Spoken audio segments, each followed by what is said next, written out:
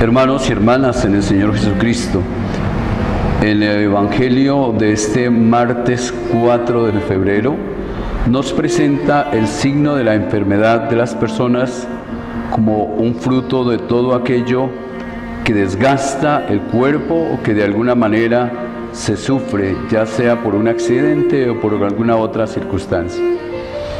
La enfermedad siempre ha tenido el sentido de doblegar, de deprimir y oprimir a la persona.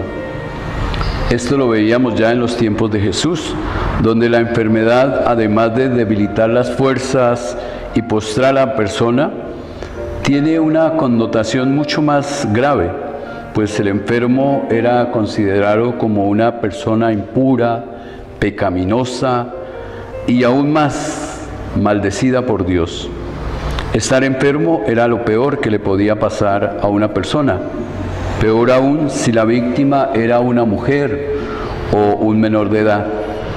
El Evangelio nos presenta precisamente a una niña, mujer, que ante la sociedad, en ese sentido religioso, no tiene ningún valor, pues es similar o se presenta o se mira como un esclavo.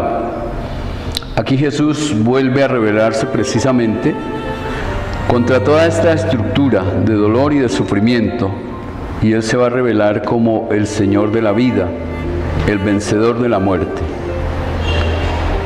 Es otro signo el que nos presenta el Evangelio en la dinámica del reino de Dios, donde Jesús ha despertado la esperanza en las personas, ha despertado la esperanza en ese pueblo empobrecido, esclavizado, ese pueblo oprimido y yo diría vulnerable y excluido de la sociedad.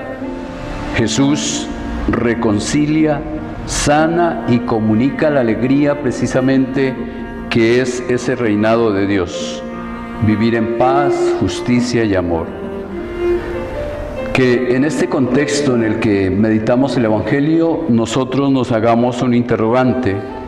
¿Qué somos nosotros como cristianos, discípulos, misioneros, ante estos signos de la enfermedad, del sufrimiento de las personas? Que nuestra alegría por sentirnos amados por Él nos lleve precisamente a tener esas actitudes de Jesús para que acojamos y escuchemos pero sobre todo siempre seamos una voz de esperanza y de aliento para estas personas desfavorecidas y excluidas dentro de una comunidad.